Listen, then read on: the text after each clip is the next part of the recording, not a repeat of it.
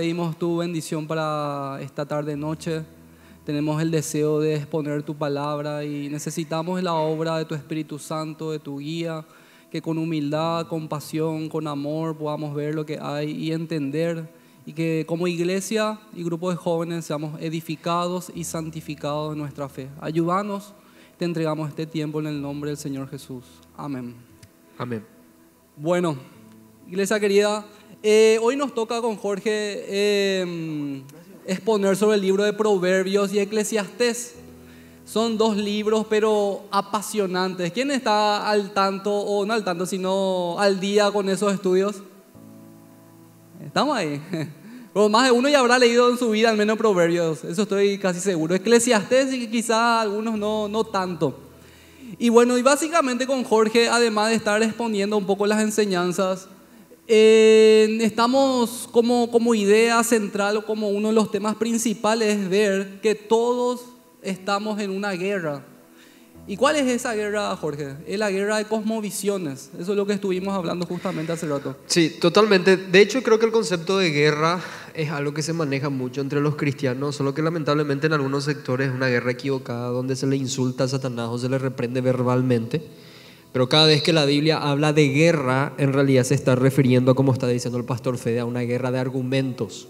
Hay una guerra de argumentos allá afuera y la Biblia lo enfatiza de manera clara, de manera contundente, y creo que podemos ponerle hasta un nombre, es una guerra de sabidurías, en donde el apóstol Pablo, por ejemplo, habla en 1 Corintios capítulo 1 versículo 20 de que existe una sabiduría que proviene del mundo y no proviene de Dios y está en contra de la ley de Dios. Y justamente los dos libros que vamos a estudiar son los dos libros sapiensales más conocidos de las escrituras en donde se plantea la sabiduría de Dios, cómo es la sabiduría de Dios, cuál es el fundamento de esa sabiduría y cómo podemos emplearla de manera práctica.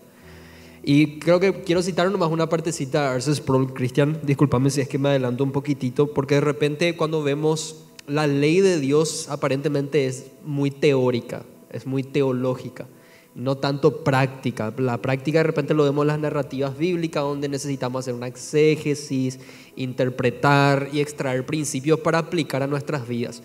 Pero lo característico de Proverbios, por ejemplo, es que ya es una praxis, ya es una serie de enseñanzas prácticas para la vida piadosa, como decía Arce Sproul. Y él decía lo siguiente, la ley de Dios es el qué hacer y estos libros de sabiduría es el cómo hacerlo. O sea, la ley de Dios te dice qué hacer y estos libros de sabiduría te van a decir cómo vivir la ley de Dios de manera práctica. Entonces nosotros vamos a partir de esta premisa. Todo lo que estamos en este lugar tenemos ideas y conjunto de creencias que gobiernan nuestra manera de pensar, de creer y de actuar. Como Jorge estaba diciendo hace rato, cuando estábamos allá, él me decía, es blanco o negro, todos estamos sí o sí adaptando una cosmovisión para nuestras vidas. Y estamos hablando con Jorge en la semana y estamos analizando cuál quizás es el medio o la red social que mejor proyecta lo que es la sabiduría del siglo o de este mundo, como solemos decir. ¿Y a qué conclusión habíamos llegado, Jorge, en cuanto a eso? Para mí TikTok. TikTok, ¿por qué? Creo que TikTok es una plataforma que se incrustó en otras plataformas. Por ejemplo, TikTok vemos en Instagram, TikTok vemos en Facebook y TikTok está en TikTok. Entonces, y es muy consumible, sobre todo entre los adolescentes, en donde aparentemente se volvió tan fácil, en primer lugar, generar contenidos en segundo lugar, como decía un pensador, y creo que el pastor Emilio lo llegó a decir, esta red social en particular dio voces a un montón de idiotas. Eso decía el pastor, no se nos comió, el pastor Emilio lo dijo. Esta red social y las redes sociales en general dieron voces a un montón de idiotas. ¿Qué quiere decir eso? De que sea la idea que vos tengas, vos lo podés vender a través de estas plataformas. Puede ser un disparate, se va a vender y se va a consumir. Yo estaba hablando con Jampar. Jampar, tenés que ver nomás su imagen facial y te vas a dar cuenta que va a ser nomás lo inteligente, sobre todo para estas cuestiones asiáticas. Y él decía lo siguiente, que yo no sabía, ¿eh? Que TikTok es una plataforma diseñada en China, pero que se prohíbe en China. O sea, no forma parte de la red social oficial de China, por ejemplo. Y aparentemente es como un experimento donde trata de ver la estupidez de Occidente. Y son fuentes oficiales las que hablan de ese tipo de cosas. Entonces en TikTok nosotros encontramos de todo y encontramos sinceramente le digo, pavadas, en donde podemos pasar horas y horas y horas consumiendo pavadas. ¿Y qué tipo de pavadas, por ejemplo, encontramos en TikTok, Cristian? Y bueno, yo no tengo, entonces no sé. pero bueno, en el TikTok de Anto, por ejemplo, que... pero, pero, tampoco les condena lo que tienen, vale aclarar. Y, pero ciertamente, hermanos queridos, si somos analíticos en cuanto a esto, debemos ver que lo que es esta red social TikTok, por ejemplo, que estamos ahora enfatizando, es una proyección, una muestra de qué es lo que cree la sociedad en general. Esa es la manera en que nosotros tenemos que analizar este tipo de situaciones. Y como estaba diciendo Jorge, una de las tantas cosas que podemos ver, por ejemplo, en TikTok es sensualidad, podemos ver vanagloria, podemos ver vanidad, podemos ver un tipo de vida que muchas veces no parece real. Apariencia apariencias. Y les, les hago una pregunta. ¿Cuántos de ustedes cuando ven ese tipo de redes sociales sienten que su vida es un fiasco? ¿Te sentís frustrado ante tanta gloria humana, ante esas personas que se pasan viajando, comiendo los mejores, mejores restaurantes y vos ahí con tu lomito árabe de 12 mil, más pena ahí está comiendo? Dígame si ustedes muchas veces se sintieron frustrados cuando ven ese tipo de redes sociales. O cuántas veces, por ejemplo, quién es la persona, que no levante la mano tampoco, que ve la, la, belleza de ese hombre o de esa mujer y se siente más feo o se siente inferior a ellos. Suele pasar también. A mí no, pero a otros yo sé que le pasa. y entonces eso nomás queremos usar como una introducción a lo que nos vamos a meter, Jorge querido, que es en cuanto a la sabiduría. Y vamos a empezar entonces con proverbios, ¿te parece? entre paréntesis, nomás, Cristian, para añadir a lo que vos dijiste, de repente cuando nosotros vemos ideas como aborto en TikTok, feminismo radical, veganismo, entre otras ideologías raras que salen por ahí, ustedes como cristianos dirán, esto creo que no me afecta a mí. Pero las cuestiones que estuvo mencionando Cristian, por ejemplo, donde vos te puedes sentir tentado y a la vez influenciado sin que te des cuenta, son cosas las cuales tenemos que tener muy en cuenta. Valga la redundancia. ¿Por qué? Porque la vanidad, por ejemplo, que está ligada al corazón del joven, como, como vemos también en la escritura que vamos a estudiar ahora mismo, es algo que nos va a atraer a todos nosotros. Quizás no te sientas tentado en esas áreas, pero por ejemplo, cuando procrastinas perdiendo horas, por ejemplo, en las redes sociales, en primer lugar, o cuando te sentís tentado y atraído por la vanidad que en ese mundo se te, está ofreciendo a través de esa plataforma, mm, creo que son cosas que realmente tenemos que tener en cuenta. Genial. Y entonces vamos a entrar un poco a grandes rasgos, vamos a ver un poco sobre el libro de Proverbios. El libro de Proverbios, para los que están leyendo o los que ya leyeron, se caracteriza por ser un libro extremadamente práctico. Hay tantos dichos sabios, tantas frases, tantas ideas, consejos, sugerencias que nos da el sabio Salomón para que lo pongamos por práctica en el día a día y se pone en el día a día en las diferentes áreas de la vida. Y quiero que veamos un poco entonces lo que es el, el, contenido o la esencia de Proverbios. La otra vez, como me estaba tocando predicar, yo le estaba diciendo que Proverbios nos ayuda a tener una vida más santa, nos ayuda a tener una vida mucho más sabia en este mundo caído, afectado por el pecado. Y Proverbios, por ejemplo, nos enseña sobre la importancia de la sabiduría. Así ya empieza Jorge Proverbios capítulo 1. Voy a leer a grandes rasgos, dice acá, que cuál es el propósito de Proverbios? Para entender sabiduría y doctrina, para recibir el consejo de prudencia, para dar sagacidad a los simples. Entonces ahí ya podemos ver también cuál es el propósito de Proverbios. Si puedes agregar algo a eso. Eh, Creo que Proverbios es un libro que parece que no tiene un cuerpo, o sea, no tiene una introducción, un contenido, desenlace y una conclusión. Es un libro que parece que están disparando a todos lados al mismo tiempo porque no tiene un orden, por así decir. Pero sí podemos encontrar de manera clara algo que engloba a todo el libro y es el capítulo 1 que vos estuviste diciendo. Básicamente es el siguiente, Proverbios es un libro de sabiduría para que el creyente en Dios pueda demostrar, demostrar una vida devota. Es decir, un devocional constante en donde vos vivís en este mundo junto con todos sus mambos, junto con todas las sabidurías que hay, vos lo haces según la sabiduría de Dios.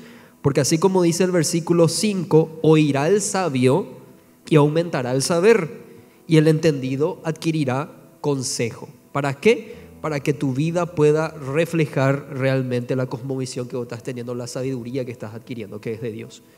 Genial. Y para citar más algunos de los tantos temas que, que, habla Proverbios, cómo ser prudentes, cómo ser sabios, cómo ser jóvenes reflexivos, no ser jóvenes simples ni, ni necios. Eh, nos habla cómo evitar la inmoralidad sexual. Proverbios habla mucho, unos cuantos capítulos sobre eso. Da consejos claros y prácticos cómo evitar ese pecado. Te enseña cómo debes manejar tu dinero, te enseña cómo debes reaccionar cuando estás enojado Proverbios te, enseña cómo debes usar tu lengua. Proverbios te enseña con quién debes asociarte en el trabajo, cómo debes trabajar, cómo tenés que ser diligente. Proverbios nos enseña cómo debes ser una mujer piadosa. Hay todo un capítulo destinado a eso y varios otros versículos que habla de eso. Y por ende, entre paréntesis, ya ahí Proverbios también nos enseña cómo debe ser la mujer que nosotros debemos elegir para, para casarnos. Entonces, todas esas son las enseñanzas de Proverbios, pero todo eso, Jorge, tiene un fundamento. Así mismo, eso iba a decir. Francis Schaeffer era un apologista cristiano y él decía que justamente la decadencia moral que nosotros vemos en nuestros días, todas las filosofías raras que vos ves por ahí, es porque se perdió un fundamento. ¿Qué es lo que hace el fundamento? El fundamento sostiene toda la construcción de una casa, un edificio, lo que sea. Si vos removes ese fundamento, como dice Salmos, y los fundamentos son removidos, ¿qué puede hacer el justo? Decía el salmista David. Y el fundamento de la sabiduría bíblica, que este no es un libro solamente de ética, aunque parece ser de ética, no es solamente un libro de moralidad, no es solamente un libro de economía, no es un libro sobre crianzas, sino que es un libro de sabiduría que posee un fundamento bien firme que va a sostener todas esas construcciones prácticas. ¿Y cuál es? Lo que dice en el versículo 7 del capítulo 1, al inicio mismo donde se habla del propósito. Dice, el principio de la sabiduría es el temor de Jehová. Los insensatos, sin embargo, la desprecian y también desprecian la enseñanza. ¿Cuál es el principio de la sabiduría? El principio que va a sostener toda esta vida práctica. La reverencia que vos tenés respecto a tu relación con Dios. Y de repente para el concepto de sabiduría cristiana es muy importante que definamos a qué se refiere el, el autor con sabiduría. Se refiere a la información que vos adquirís puesta en práctica. Eso es sabiduría. La capacidad que vos tenés de vivir aquello que vos conocés en cuanto a Dios. Sabiduría en pocas palabras es saber vivir como Dios manda.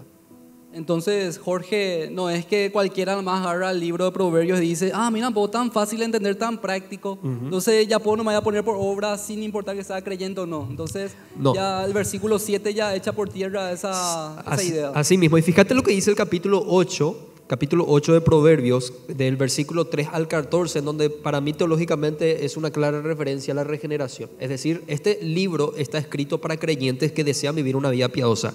No está escrito para incrédulos que no conocen a Dios, pero que desean tener una vida regularmente buena. No.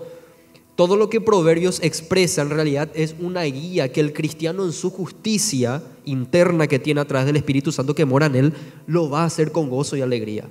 Porque los mandamientos de Dios no son gravosos, como dice Juan.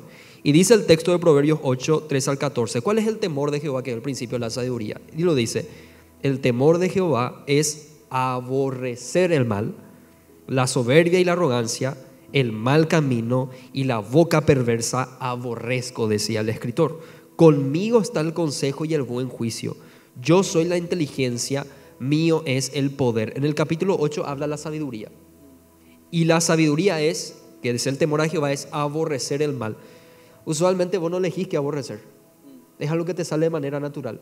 En cuanto a los creyentes, si es que fuiste regenerado realmente, si naciste nuevo, naturalmente vas a aborrecer el mal porque ya hay una obra que el Señor hizo en tu vida.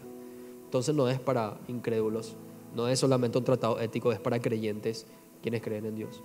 Ya.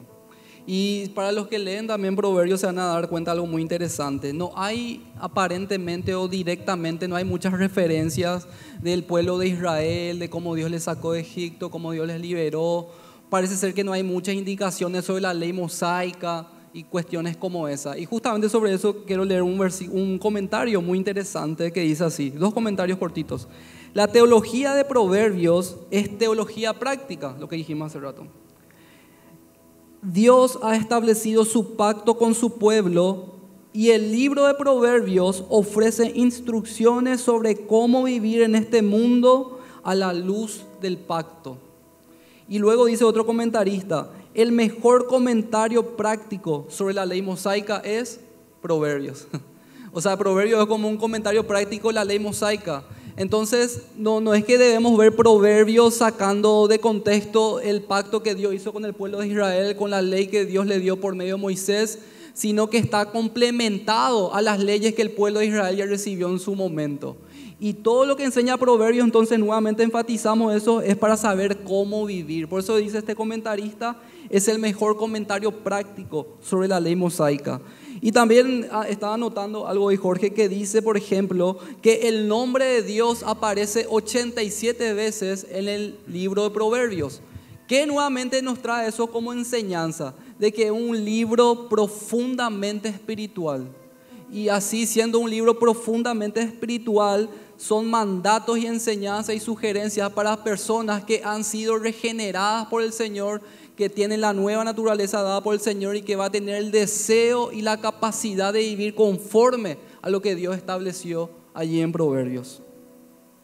Y también, Jorge, en Proverbios es algo interesante. Muchas veces no es tan fácil de poder interpretar ese libro, porque no hay muchas veces de alguna manera mucha unidad. Es como que habla, de, usted no le pasó eso, que leen, habla de un versículo, después el otro versículo salta a otro lado, el siguiente otro lado. Muchos hermanos de repente son así también cuando hablan y no, no tienen un cuerpo lo que está diciendo.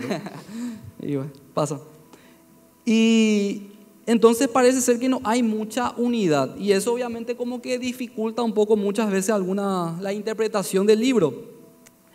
Y algo importante también, Jorge, que quiero que también te explayes en esto, que no todo lo que dice Proverbios se cumple a rajatabla sí o sí. No es que son necesariamente promesas tras promesas para el creyente y que son reglas que se van a cumplir sí o sí. Por ejemplo, si pueden abrir Proverbios 16, versículo 7. Proverbios 16, versículo 7. Les voy a leer.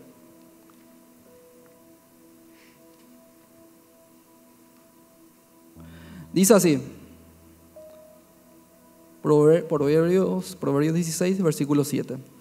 Cuando los caminos del hombre son agradables a Jehová, aún a sus enemigos hace estar en paz con él. Viendo a la luz de la experiencia de nuestras vidas, es difícil ver esto como una verdad rajatabla y como una promesa para nosotros. Y bueno, y vamos a ir más atrás. Jesús fue el hombre perfecto y en él no se vio esto, no es que él estuvo en paz con sus enemigos. El gran apóstol Pablo y todos los apóstoles y grandes hombres de Dios tampoco vieron esto. Entonces, Jorge, cuando interpretamos proverbios, no es que debemos decirlo, esta es una promesa para mí y así va a suceder. ¿Es así? No, de ninguna manera. De hecho, hay otra aparente contradicción, pero que al mismo mm. tiempo nos da luz, y es el famoso versículo de Proverbio donde dice, no le respondas al necio o sea, porque vas a participar vos también de tu necedad. Pero te vas unos versículos después y dice, respóndele al necio conforme a su necedad. O sea, ¿qué hacemos? Entonces, ¿le respondemos o no le respondemos? No, proverbio es un escrito que los teólogos denominan es ocasional. ¿Qué quiere decir eso? Que depende mucho de las circunstancias que estos escritos van a tener funcionamiento, por así decir.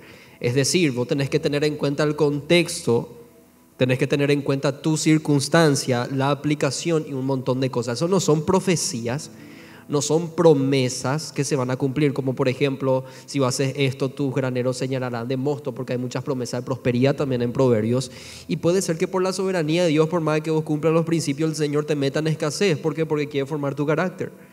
Entonces la intención del autor en primera instancia no es establecer promesas en Proverbios. Ahora, lo que Sproul dice, por ejemplo, respecto a Proverbio, es que lo que sí es absoluto es que en ese libro se revela el carácter de Dios, los atributos de Dios. Por ejemplo, cuando dice que Dios aborrece en Proverbios la lengua engañadora, eso no es ocasional. A Dios nunca le va a gustar la lengua engañadora. Siempre que se hace referencia a los atributos de Dios en Proverbios, su santidad, lo que Dios aborrece, lo que Dios ama, eso sí es absoluto porque tiene que ver con el carácter inmutable de Dios. Ahora, las aplicaciones, el ejemplo que estuvo citando Cristian, son ocasionales. Vos podés seguir esos principios, pero no están obligados esos principios a cumplirse en vos a rajatabla, como está diciendo.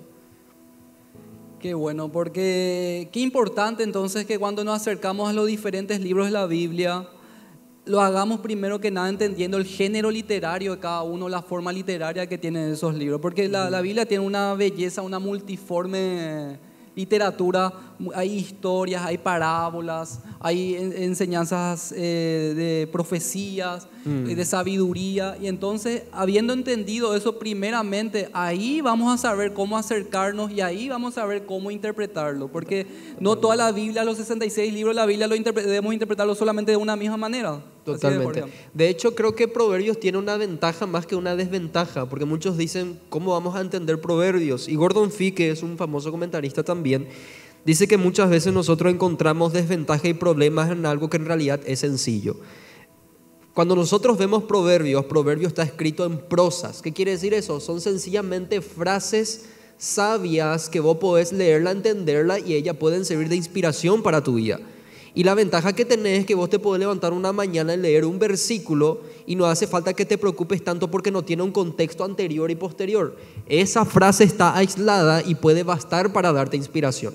No es, por ejemplo, como Lucas o como los evangelios o como los libros proféticos, donde vos no podés agarrar un versículo, un solo versículo, hacer tu devocional mañanero con un solo versículo y no tenés idea del propósito del libro, la intención del autor, el contexto del capítulo, el contexto del libro en general y un montón de cosas. Eso sí es más complejo estudiar, pero proverbio hacer como temas aislados, diferentes temas en pocos versículos y en varios versículos, tiene una ventaja para estudiar, porque eso sí te puede servir para inspirarte con un solo versículo y una sola frase que puedas entender a la luz de toda la Biblia, obviamente. Y ya concluyendo nomás lo que es, la eh, lo que es Proverbios, qué, qué apasionante es. De verdad, qué apasionante. Por eso también con Jorge le, le alentamos, hermanos queridos, que estudien profundamente y ya entendiendo estos grandes principios a grandes rasgos que estamos dando, eh, estamos seguros que son como herramientas que de alguna manera le va a poder ayudar para que ustedes puedan gozarse mejor en lo que están aprendiendo del Señor y de su palabra. Porque como ya estamos diciendo, acuérdense lo que dice 2 Timoteo 3:16, toda la escritura fue inspirada por Dios. Y eso incluye proverbios y eclesiastés. Y vos sabés, Jorge, que así entre paréntesis más también lo que voy a decir, estaba escuchando esta semana que alguien decía, ¿cómo decía? hablen en sus iglesias y defiendan al Antiguo Testamento. No dejen que en sus iglesias se deje de lado el Antiguo Testamento. Recuérdense, el Antiguo Testamento es la palabra de Dios. Y quiero dar la gloria a Dios por eso, porque nuestros pastores están predicando mucho el Antiguo Testamento. Estamos nosotros en la Biblia 365, estamos intentando acercarnos más al Antiguo Testamento, entender, comprender. Y gloria a Dios porque estas son palabras dadas para el creyente. El pastor Emilio está predicando sobre Saúl, por ejemplo, en la historia del libro de Génesis. Y todo es para nuestra santificación, para nuestro crecimiento, para conocer más a Cristo y el plan soberano del Señor. Y no sé si continuamos Eclesiastés o Carlos hacemos ese corte o como para el sorteo de ¿Hay una hora de teatro, Carlos? De lanza, Carlos no sabía. No, no. Un, rap de ahí de misa no de, dos minutos. No quieren un pequeño teatro, pero el misa ya arrepentido, el misa cristiano ya, ya no. Segunda parte. Bueno, continuamos entonces, Carlos. Bueno. Vamos a continuar entonces, Jorge querido. Eclesiastés, ¿qué puedo decir de eso? Libro pesimista, depresivo en todos los sentidos. Bueno, eso no es Eclesiastes. De hecho, creo que estuvimos de acuerdo con una frase que elegimos. Vos lo anotaste, yo también lo anoté. Sí. Y cuando nos dijimos allá en la oficina, esto es lo que yo pienso de Eclesiastes, es exactamente la misma palabra. Se piensa que Eclesiastes es pesimista, ah. depresivo, todo de vanidad. Entonces, como decía un predicador que no predica el Evangelio y no un predicador sano, decía, bueno, si todo es vanidad, sé vanidoso con estilo. No, ese tampoco es el, el, el mensaje de Eclesiastes. Entonces, más que un libro pesimista, depresivo, donde parece que todo es nebuloso, donde parece que todo es malo, en realidad Proverbios qué es, Cristian? Eh, Eclesiastes qué es? Es un libro realista. Realista. Esa es la palabra. Cuando Jorge me dijo eso, yo le dije eso así tipo, ese Spider-Man así, lo caímos en la misma idea. Realista. Y es así, porque tenemos que partir también de esa idea que muchas veces hay mucho prejuicio sobre Eclesiastés hay muchas ideas formadas. Y más todavía si usted entra en internet, yo estaba leyendo esta semana, hay muchas cosas, ideas erradas sobre lo que es Eclesiastés. Y nosotros podemos caer también por ese lado. Por eso es necesario no tener una lectura superficial de lo que es Eclesiastés, sino adentrarnos profundamente y van a ver toda la gloria que hay en ese, en ese libro. Una de las frases más conocidas de Eclesiastés, que se cita 38 veces y probablemente más luego incluso, es vanidad de vanidades. Todo es vanidad. Así lo, boom, ahí cierra.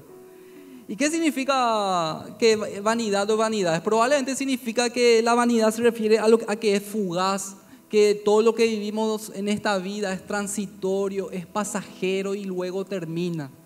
Esa es probablemente la idea que está expresando el autor de Eclesiastes, que creemos que es Salomón, que todo es rápido y termina y se esfuma. Así como dice ya Santiago también, aparece la neblina, así en nuestra vida como una neblina que aparece un rato y luego ¿qué?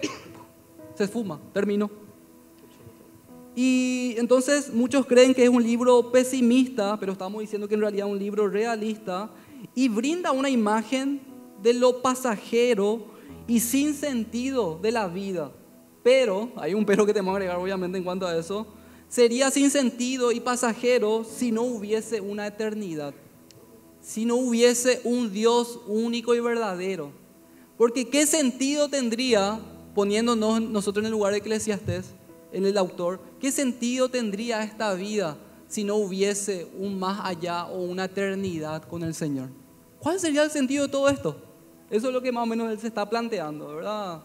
Totalmente, y creo que no es algo que lo reconoce solamente en Salomón, sino que es algo que lo reconocen incluso los mismos pensadores ateos.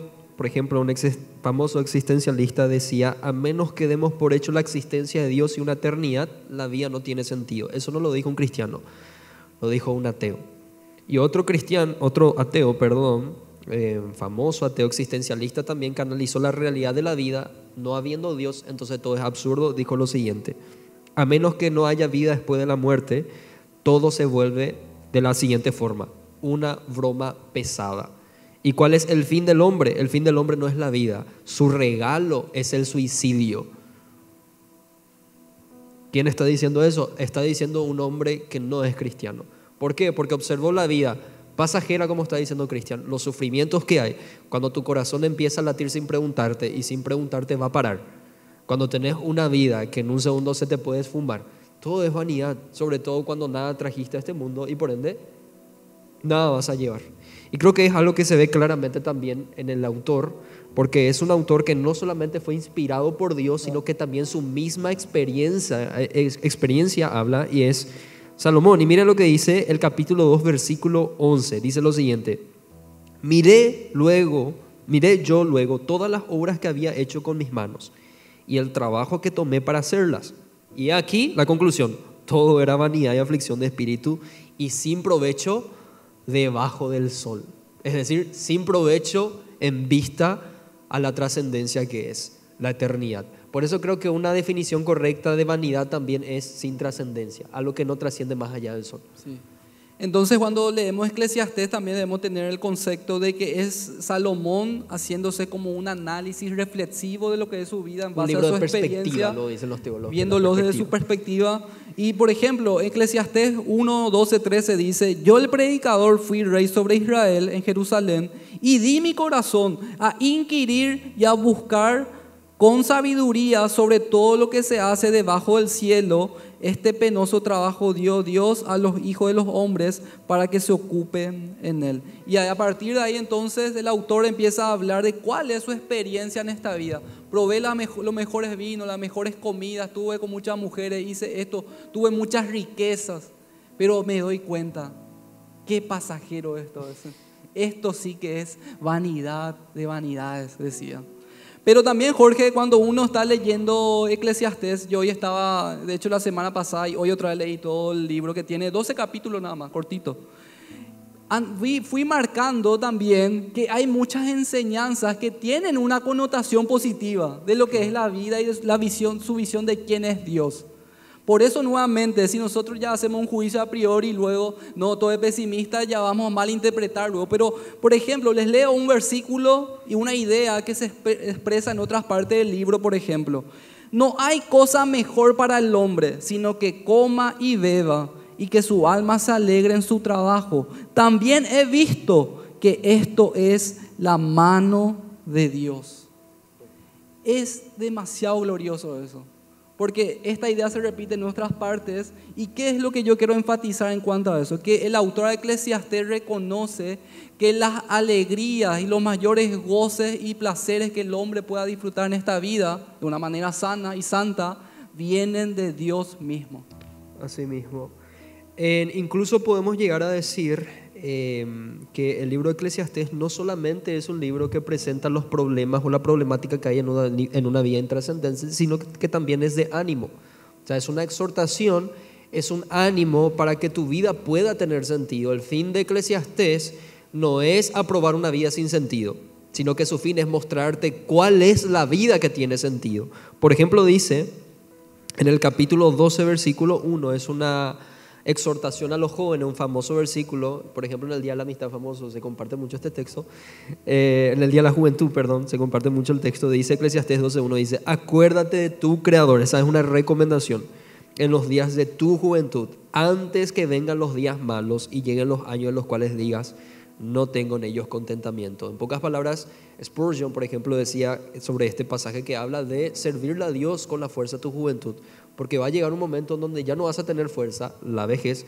entonces lo mejor que puede hacer el joven en este tiempo no es visitar todo el tiempo TikTok, sino eh, desgastarte, como decía Spurgeon, desgastar todas tus fuerzas para servir a Dios hoy. Eso es lo que te va a dar contentamiento mañana. Y hay otro texto de ánimo que es el famoso fin del discurso, el capítulo 12, versículo 13, donde dice, el fin de todo discurso es este, teme a Dios y guarda sus mandamientos, porque esto es el todo del hombre.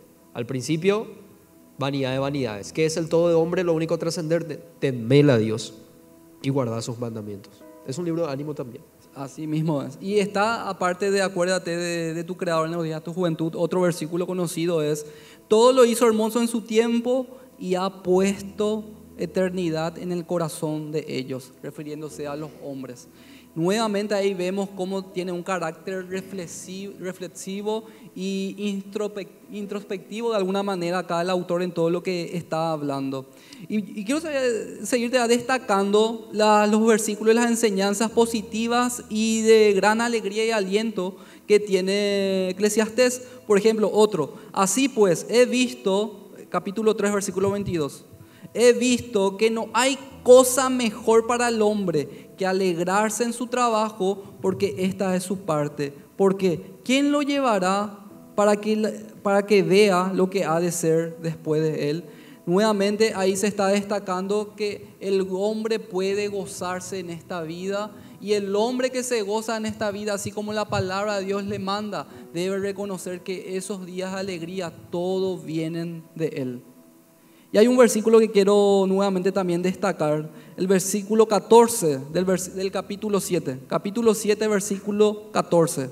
Dice así, en el día del bien, goza del bien, y en el día de la adversidad, considera, Dios hizo tanto lo uno como lo otro, a fin de que el hombre nada halle después de él. Hay mucha sabiduría en cuanto a esto.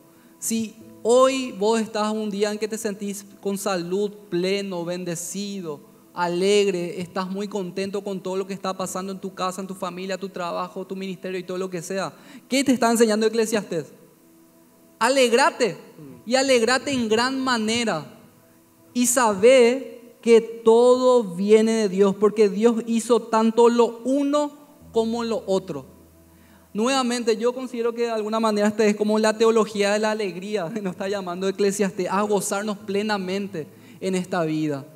Si vos sos una persona que tiene dinero y querés comer en el mejor restaurante de Asunción, anda a comer y disfrutar para la gloria de Dios. Y reconocer, Señor, te doy gracias por estos alimentos, te doy gracias porque vos me diste la fuerza y la sabiduría para hacer las riquezas y yo me gozo en este día y reconozco que esto viene todo de ti. Y así le estás glorificando y honrando a Dios. Es demasiado práctico, extremadamente práctico es. Y aquel que está en un día mal, lo que tiene que hacer, en día de la adversidad, considerar. Otro consejo bastante sabio que nos está dando.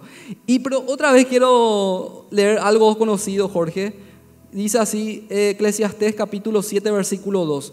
Mejor es ir a la casa del luto que a la casa del banquete, porque aquello es el fin de todos los hombres. Y el que vive lo pondrá en su corazón, es decir, va a pensar y va a reflexionar sobre ese fin que todo hombre va, va a experimentar alguna vez. O sea que hay otra vez sabiduría en cuanto a eso. En vez de irte del asado con los muchachos, que está bien por cierto, gozate, ten en cuenta también en irte a casas de luto o cuando, donde hay velorios, donde hay personas enfermas. Anda ahí, porque va a ser muy sabio de tu parte, porque ahí vas a tener un corazón reflexivo y vas a decir, wow, este va a ser mi fin algún día. Y eso te va a hacer tener una vida más reflexiva y una vida más conforme a la palabra del Señor. De más contentamiento también tengo yo, porque creo que cuando vos pensás acerca de la finitud de tu vida, empezás a valorar aquellas cosas que son trascendentes, las cuales nunca te van a faltar, por ejemplo. Las cosas trascendentes al creyente nunca le faltan. Las cosas de este mundo son pasajeras, sí te pueden faltar, pero las trascendentes nunca. Como decía Pablo, hasta el hombre exterior se puede desgastar, pero el hombre interior siempre va a estar en crecimiento y va a estar fortaleciéndose. Entonces podríamos resumir y decir entonces que Eclesiastés es un llamado a la reflexión. De hecho, un famoso predicador decía que todo el contenido de Eclesiastés es análogo a aquella famosa declaración de Cristo que decía, ¿de qué le sirve al hombre ganar el mundo entero si al final pierde su alma? Nuevamente una competencia entre aquello que es temporal y efímero con lo, con lo trascendente que es, es el alma. En pocas palabras, vos lees Eclesiastés y tenés que sentarte un rato y pensar, va de sentido con la vida, vamos a esa, esa frase, va de sentido, ¿qué sentido tiene la vida si es que Dios no está en la ecuación? ¿Qué sentido tiene la vida si es que yo no estoy en perspectiva, en donde yo no pongo en balanza las cosas que realmente importan, que son los mandamientos de Dios? Y si yo hoy tengo la oportunidad de estar bendecido, como decía Cristian, híjole, incluso ahí Dios está, Dios tiene que seguir siendo el centro, yo tengo que darle gracias a Él y también reflexionar así con, con el, el, principio que estuvo nombrando. Jorge, y vos que ya estaba por casarte dentro de poco, él se casa en octubre. Y para los casados también. Acá hay un versículo para los casados. Capítulo 9, versículo 9. Ah, no me Jorge. Voy a marcar ya. Hay un ujier acá por si se cae, Jorge. Dice así: Goza de la vida con la mujer que amas. Pero cuesta con este tema, no es tan fácil. Pero gloria a Dios. Este para mí es profecía recién.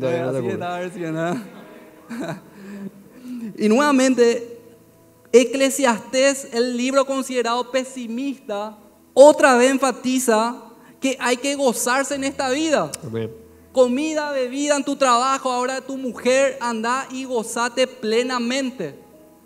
Y ese es un llamado que tenemos también ya los casados y los futuros casados, Jorge querido. Y como estaba diciendo Jorge, yo considero que Eclesiastés, estaba meditando hoy, es quizás uno de los libros más evangelísticos que existe en la Biblia. Y te digo por qué creo eso. Porque te lleva a encontrarte con la realidad de que este mundo es muy pasajero, que esta vida sin el Señor no tiene ningún tipo de sentido. Y nos lleva a comprender Eclesiastés también que el verdadero gozo del creyente o del hombre, la persona en sí, la verdadera plenitud solamente se va a poder encontrar en Cristo Jesús. No hay otra manera. No vas a poder encontrar tu plenitud en tu trabajo, en tu profesión, no vas a poder encontrar plenitud en, tu, en todo lo que vos hagas, ni en tu pareja. No, Eclesiastés te lleva a pensar, wow, tengo que mirar más allá de todo esto. Definitivamente no soy feliz en esta vida. Amén.